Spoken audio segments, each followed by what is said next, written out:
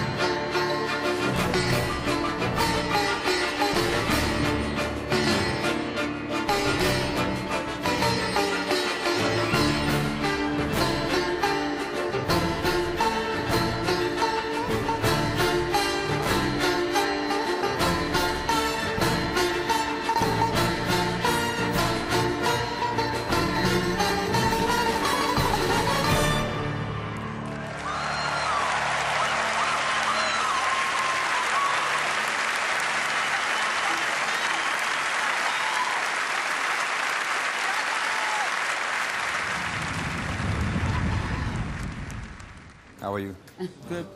It's good to see you. Tell me why you're here. I'm here to perform for the Nobel Peace Prize concert, and uh, it's a great honor. I was invited a year back. Okay, as a musician, um, as a human being, I believe in peace and I believe in human rights. I'm going to meet uh, one of my idols, Herbie Hancock, and it's great to be a part of this. I'm just taking over, huh? But anyway, uh, we're all excited about being here at such a particularly important situation. It's a great statement from all of us being united and saying that yes, we support human rights and we support peace and we support human beings. Yes, that we're on the same page. Absolutely. Right. Thank you. Thank you. Thank you.